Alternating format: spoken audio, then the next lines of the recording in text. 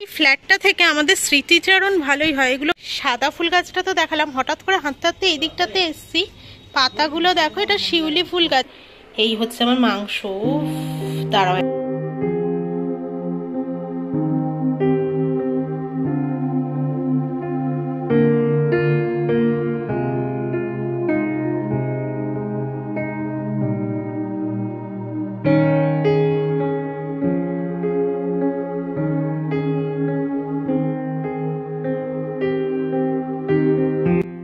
morning welcome back to our channel আশা করব প্রত্যেকে ভালো আছো, আমরাও ভালো আছি। আর দেখতেই পেলে আমাদের ব্রেকফাস্ট হয়ে গেছে। আজকে আমাদের ব্রেকফাস্ট হয়ে যায় উডুপির ধোসা।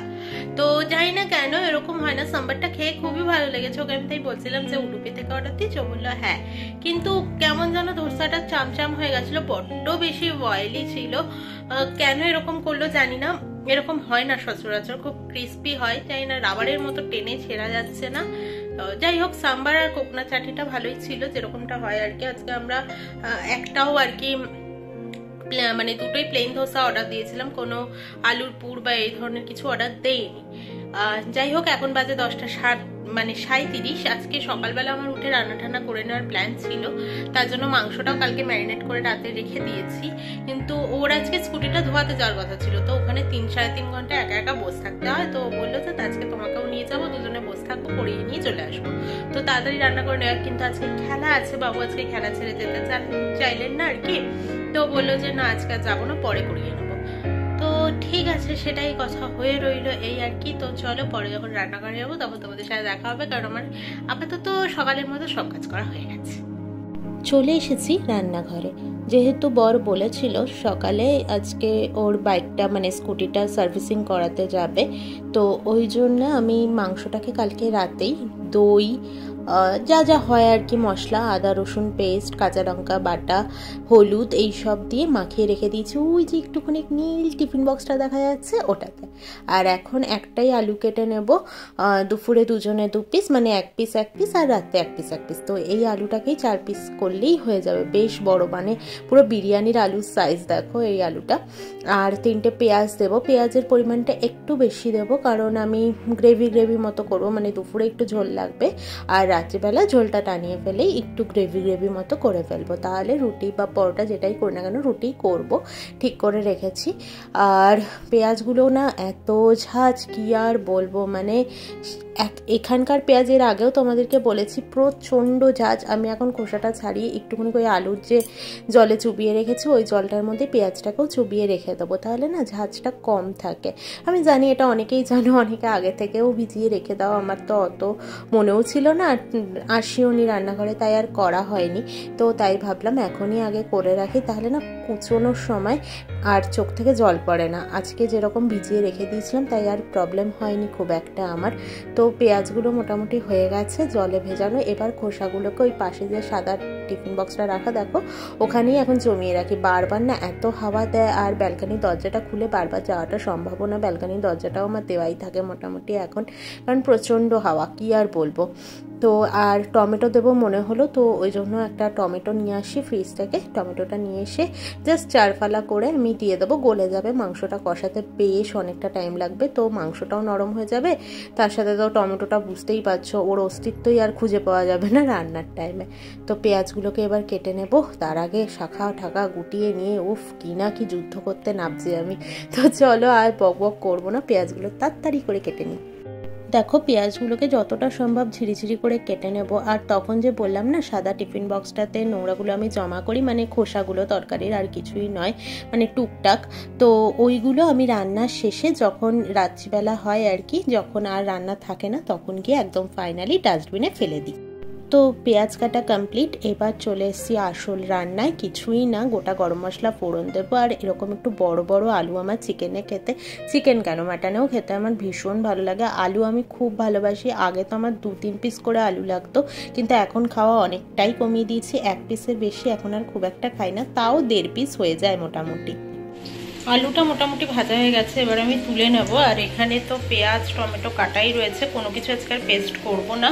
আর এখানে চিকেনটা কালকে থেকে মাখানোই রয়েছে, দই আদা, রসুন, পেস্ট এইসব দিয়ে দিয়ে হলুদ গুঁড়ো।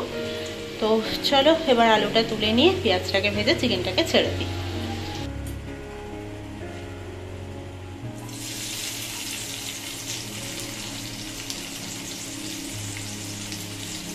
পেঁয়াজটাকে বেশ লাল লাল করে ভেজে নেবে। এই যা প্রত্যেক সপ্তাহে যা চিকেন রান্না হয়, ওই আর কি একটু আলাদা কিছু করার চেষ্টা করি। কারণ প্রত্যেকদিন ওই ঝোল ঝোল করে খেতে ইচ্ছে করে না, বিশেষ করে তেল ডালের ঝোলটা তো ভালোই লাগে না। যেহেতু প্রত্যেক সপ্তাহে চিকেন হয়, তাই জন্য ওই ঝোলটা আর খাওয়ার জন্য ভালো লাগে না। তো ওই রকমই একটু করব যাতে একটু কষা কষা প্লাস একটু ঝোল ঝোল থাকে, কারণ খাওয়ার জন্য একটু গ্রেভি রাখতে হবে। বাঁধাকপিটা কালকের একটুখানি রয়ে গেছে, ওটাই রেখে দিয়েছি। বেকার জোর করে একদিনে শেষ করতেই হবে, তার তো কোনো মানে নেই। ওটা খাব আর কি। ওই জন্য গ্রেভিটা একটু রাখব বলে পেঁয়াজের পরিমাণটা একটু বেশি দিলাম। আর একটুখানি লোটে রয়ে গেছে, কালকের ওই শুটকি লোটে। তো ওটাও শেষ করতে হবে। তাই জন্য অল্প গ্রেভি হলেও হবে। এখন বাজে একটা কুড়ি, স্নান দান করে ভাতটাকে বসিয়ে দিয়ে ও আর আমি এলাম একটু ছাদে। বহু দিন বাদে ছাদে এলাম। এই যে, এই সাদা সাদা ফুলগুলো, এই গাছটা আমাদের বাড়িতে আছে। ওকে বোঝাতে পারছিলাম না আসলে গাছটার নামটা আমি জানি না। দেখো কি সুন্দর সাদা সাদা ফুল ফুটেছে। এই গাছগুলো বিশাল বড় হয় জায়গা পেলে আর পুরো গাছটা শীতকালে সাদা সাদা ফুলে ভরে থাকে। রজনীগন্ধার ভাইরা ভাই বলতে পারো মানে। হাঁপিয়ে গেলাম আমি। এই ফুলটার ওই পাপড়িটাও তো মোটা নয়, রজনীগন্ধার মতো পাতলা হয়, কোনো গন্ধ নেই। আর আদারওয়াইজ দেখতে রজনীগন্ধার মতনই হয়। খুব সুন্দর দেখতে লাগে। পুরো গাছটায় যখন সাদা ফুলটা ফুটে থাকে। তো এই আর কি। আর তো মাংসটা তো হয়ে গেছে ভাতটা বসিয়ে দিয়ে ওর আমি ছাদে এলাম। অনেক দিন ছাদে আসিনি হাওয়া হাওয়া করে কিন্তু ছাদে উঠে খুব একটা হাওয়া নেই বলো?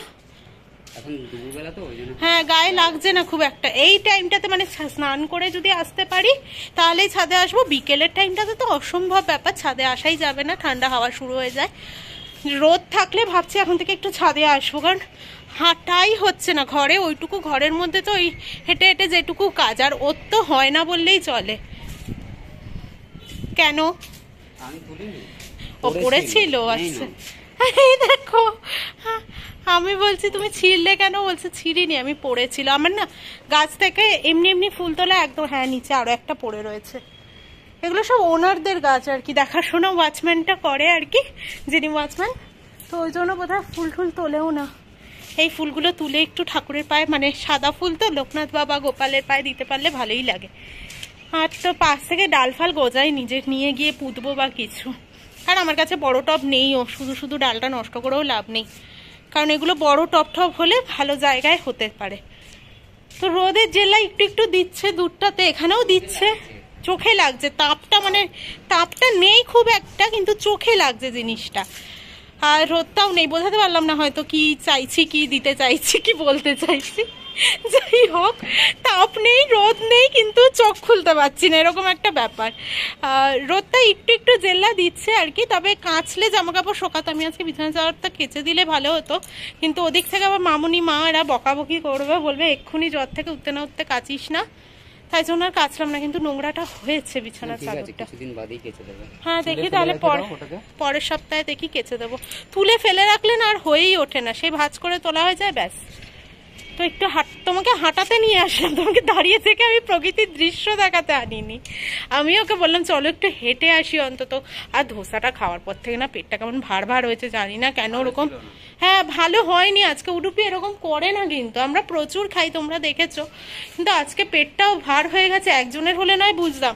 দুজনেরই হয়ে গেছে এইরকম তাই বললাম যে দুপুরে তো খেতে ফেতে হবে। চলো একটু হেঁটে আসি ছাদ থেকে। এখন আমি ভাবছি স্নান করে প্রত্যেক দিনই একটু আসব। রোদটাও গায়ে লাগানো উচিত, একদমই গায়ে রোদ লাগে না, হাওয়া হাওয়া করে, আর হাঁটাও হয় না। তো চলো একটু হেঁটে নিয়ে আগে। এই ফ্ল্যাটটা থেকে আমাদের স্মৃতিচারণ ভালোই হয়, এগুলো পায়রার খেল দেখতেই পাচ্ছ।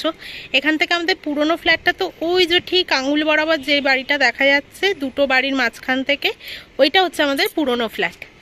আর এখান থেকে আমাদের মানে আমার পতিদেবের পুরনো অফিসটাও দেখা যায়, জানি না ক্যামেরাতে কতটা আসবে। এই একটা নীল বাড়ি দেখতে পাচ্ছ? নীল বাড়ির ঠিক পেছনটাতে একটা ডি শেপের কিছু একটা করা রয়েছে ওপরে। এই এই এই তাঁবুটা তারপরে একটা ডি শেপ ওইটাই হচ্ছে গিয়ে ওনার আগের অফিস। ওটা কিন্তু কারখানা না হ্যাঁ ওটা দেখতে ওরকম। ওটা দেখতে ওরকম লাগছে। সামনে থেকে তোমাদেরকে দেখাইনি কখনো। তো গেছিলাম আমি একবার ওর অফিসে ভাইয়া আর অ্যাপিদি নিয়ে গেছিল গাড়িতে করে। তো তখন গেছিলাম আমি। অফিসটা খুব একটা বড় নয় ছিল না আর কি বড়। তো এখান থেকে দেখা যায়। তো আমাদের পুরনো স্মৃতিচারণটা বেশ ভালোই হয় এখান থেকে। সাদা ফুল গাছটা তো দেখালাম, হঠাৎ করে হাঁটতে হাঁটতে এই দিকটাতে এসছি। পাতাগুলো দেখো, এটা শিউলি ফুল গাছ, এই দেখো শিউলি ফুল ফুটবে। আর এটা তো ওই থোকা টগর গাছ। থোকা টগরগুলো হবে। এই দেখো, পুচকেটাকে দেখো। ওর মা আসলে ছাদে এসে কাঁদছে আর ও এরকম করছে। এই জবা গাছটায় ধরে গেছে পোকা। আমার গাছ দেখতে না খুব ভালো লাগে, খুব। আমার বাবারও গাছের নেশা বাবারও গাছের নেশা, সেই থেকে মনে হয় আমারও ধরেছে একটু। তোমার কি ধরলো আমার থেকে? এই দেখো, ডাটা গাছও বোধহয় পুঁতেছে এটার ডাটা গাছ। তো চলে এসেছি রান্নাঘরে, দুটোর বেশি বেজে গেল, দুটো পাঁচ বেজে গেছে। এই হচ্ছে আমার মাংস দাঁড়াও এক সেকেন্ড। দেখতে এরকম হয়েছে, তবে নিচের ঝোলটা কিন্তু পাতলা। খুব একটা করিনি ঝোল মানে খুব বেশি রাখিনি, দুপুরটা খাব রাত্রিবেলা গরম করলে যাতে একটু গ্রেভি গ্রেভি হয়ে যায়, সেই চেষ্টাই করেছি। তো দাঁড়ান নাড়িয়ে দেখাচ্ছি। দেখো, ঝোলটা পাতলা রয়েছে, ওপরটা ওই তেলটা ভেসে গেছে আর কি। তো চলো এবার বেড়ে নিই খাবার দাবার